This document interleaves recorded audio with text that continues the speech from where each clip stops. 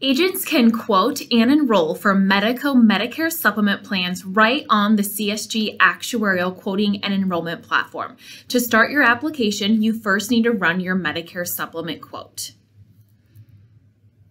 Enter in the applicant's zip code, age, gender, tobacco status, and then you can select different plan types. And then always make sure that you do move your effective date forward to the effective date of the policy. If you want to include household discounts, you can do that there and then hit get quote.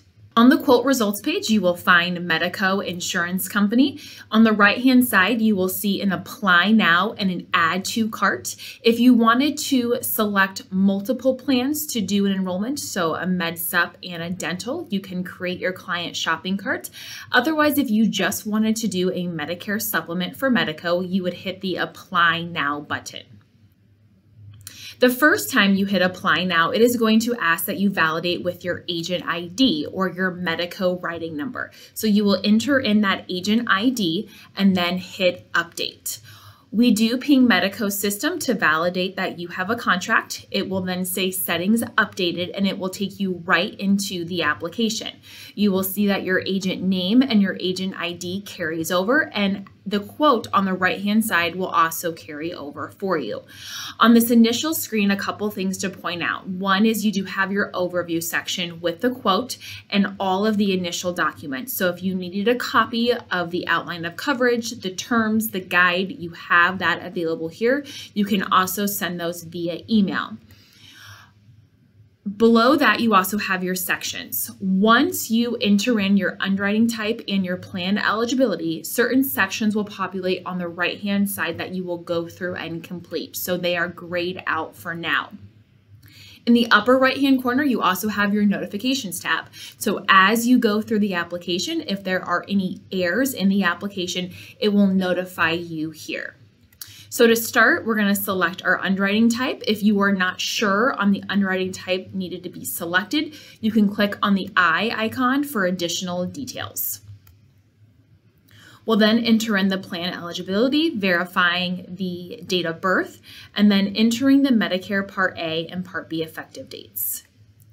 Again, if you enter in a effective date, Medicare Part A and Part B effective date that does not match an open enrollment situation, the system will notify you of that.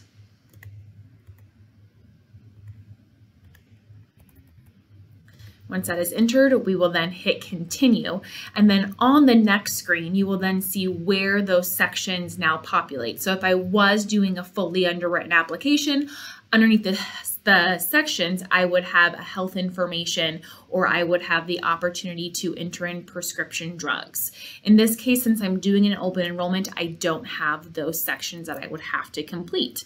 So once a section is completed, it is good. You will see this green check mark. If there's still information missing in a particular section, you will see the orangish yellow air icon. So from there, we're just gonna go through the application start to finish by first seeing our plan selection. Based upon my Medicare Part A and Part B effective dates, I'm not eligible for that Plan F. So you can see here that I have my Plan G selected. If I ever needed to change that as I'm going through the application, I can do that. And then my premium over here on the right-hand side would update for me as well.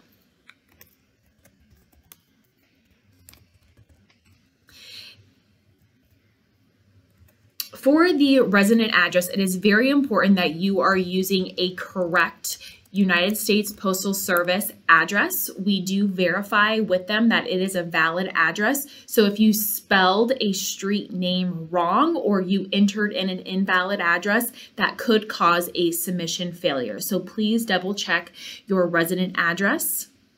It will then carry over the zip, the city, and the state.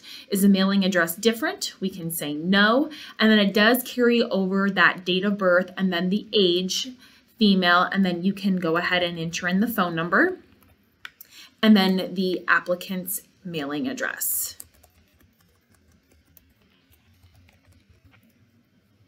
And then hit continue. The great thing about this e-application platform is it's automatically going to save for you. So as you are going through the application, it will automatically save. So if you get interrupted, you can always come back into the application. All of your applications are stored in your e-applications panel here. So the next section, we have the household discount. So we do have the definition of that. I initially quoted without a household discount. As we're going through the application, I see that they would qualify for a household discount. So I will have that as yes, and then I will enter in this individual's um, spouse first name, last name, and then as I hit continue, my rate over on the right hand side will now update to the household discount rate. So as you're going through the application, the rate could change. If you were doing um, a, a plan that has multiple rating classes and based upon their height and weight, it bumped them up to another rating class, that premium would then adjust for you. You can now see that my sections over here have that green check mark as well. So the Social Security and the Medicare number, they are not required. Anything with a red asterisk would be a requirement. I'm going to answer yes to these questions here. Medicare Part A and Part B effective date carries over. Um, automatically no to guarantee issue, and then you can select yes to open enrollment, and then click that continue button at the bottom. What I really like about the CSG platform for this e-app is you can hop around to different sections as you're taking that application. So if you need to quickly come back to a section or skip a section, all you have to do is click on that section over here on the right hand side. So it's very easy and simple to navigate. Previous or existing coverage information, I will go ahead and select no to these questions. And then I'm going to hit continue on. Now, method of payment section, there is one option for method of payment, and that is an automatic bank withdrawal. The premium that is shown on the quote does include that EFT discount. So we are going to do that automatic bank withdrawal. You do have some different ongoing payment options for your um, payment, whether that's monthly, quarterly, semi, or annual. In this example, I am going to select monthly. And if I needed to change the, the date on here on when that's drafted, I can do that as well. You do also have an option to check a uh, savings account or a checkings account. The routing number here works a couple of different ways. You can either start by typing in a bank name or typing in a routing number. Either option would populate your banks for you. You will select that bank and then enter in the account number and then the first name and last name on that account.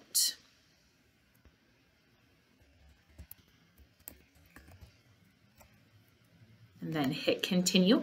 If it is a husband and wife that share that bank account, you can just enter in the individual or, or the applicant or one of their names there. As you can see, we have green check marks on each of the sections, so we will go ahead and continue on. This is the to be completed by producer section, so you can read these questions and answer accordingly.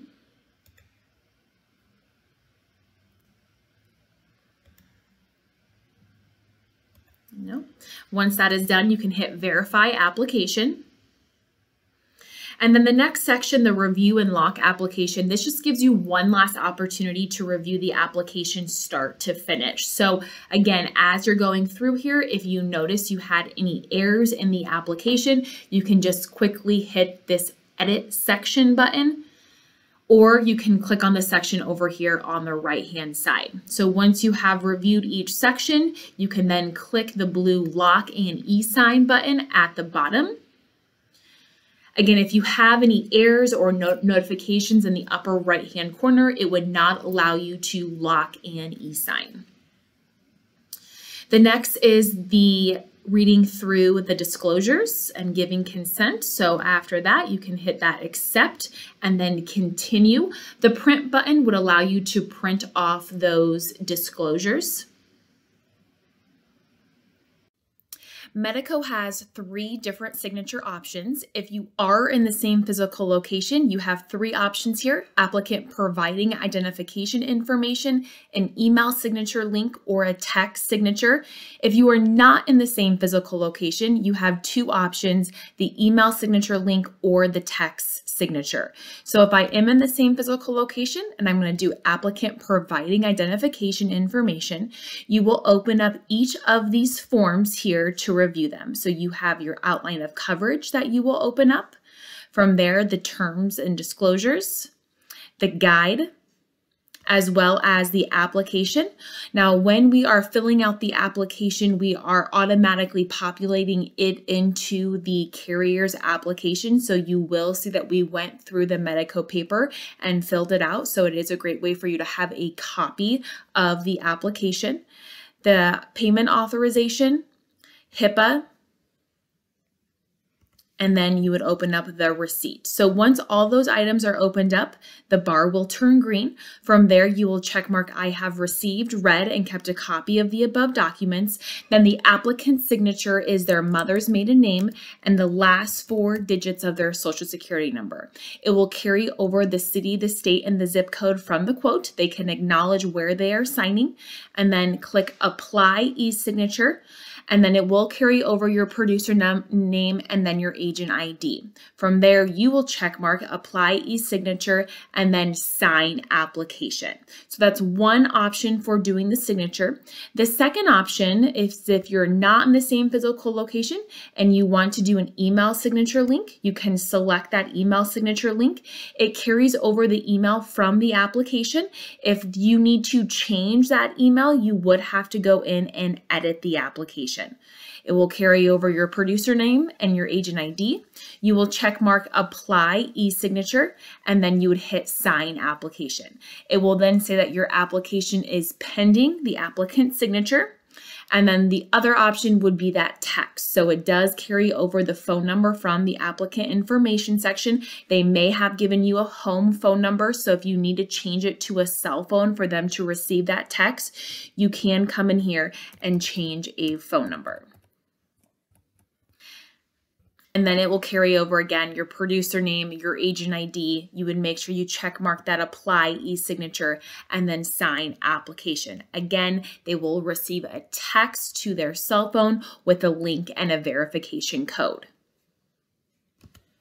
Let's go over the options for the email signature link so you can see all of those screens. Keep in mind, all of the screens that I'm going to be showing you for the email signature link would be the same for the text signature.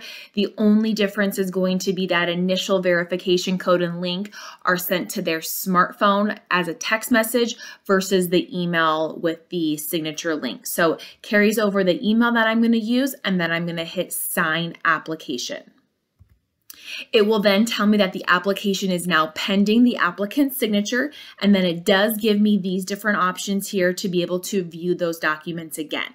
If I click on view applications, this does take me back to my e-application panel where I can check to see where I am at in that application, whether the status is incomplete, consented, locked, producer signed here. This just means that I signed it as a producer. I am still waiting for my applicant to sign it. Now the applicant does have a two hour window to be able to do the email signature. So if it's past that two hour window, you do have that option to resend the signature. It will resend the applicant a brand new email and they will use that new email link and verification code and not the previous one. So do make sure that when you are ready to do the email that your client is available as well.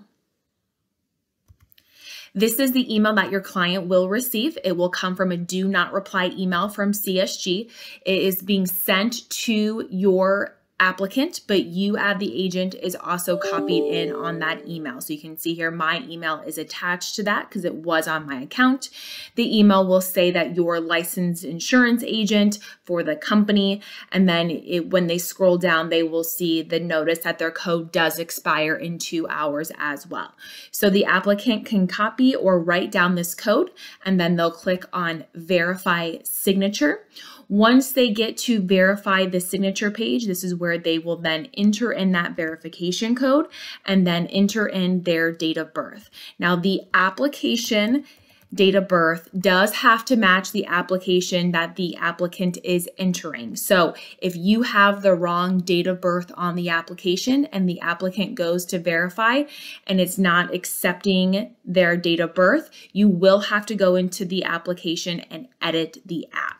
So please be aware that if they are having any issues with their verification code and date of birth, it could be you have the wrong date of birth in the application. From there, kind of the same screens that you did from the agent perspective, how you had to go through the consent and the disclosures, so will your applicant. They will review those and then they will select I agree and then they will open up each of the documents so they also have a copy. So they will open up the outline of coverage, they will open that up and review it, as well as the terms and the disclosures, the guide, the application, the payment authorization, HIPAA, and then also the receipt. So they do have to open all of them up. They know they have opened them all up. When all of the documents turn green, then they will check mark, I have received, read, and kept a copy of the above documents. They will acknowledge the city and the state that they are signing in and then they will check mark apply e-signature. After all that is done, they will then hit sign application. It will then prepare the application and give the applicant a notice that it has been submitted. Once the application has then been submitted, the client will receive a notice saying that the application has been submitted to Medico Insurance Company. And then when you go back into your account, if you refresh your e-applications panel, your status will then change over to submitted. You will see that status now says submitted, and then you can view a copy of that completed application. And then we do have links out to the carrier's website for you to be able to check the status of the application in order to see if it is still going through underwriting or whether or not it has been issued or declined. That is something that you will have to check on the carrier's end. The last status that you will want to see is a status of submitted. As I mentioned, as you're going going through applications, you can always come back into them. You can see here I do have some outstanding applications that are incomplete or producer signed. So again, you can always go back in to those applications if you need to. If you would like to learn more about the quoting tool and enrollment platform, please visit our website, csgactuarial.com, where we have our learning center. We have a lot of great tutorial videos for you to watch on our e-application platform. If you have any questions as you're going through an application, please call us directly at 855-861-8776, or you can always send us an email at info at csgactuarial.com.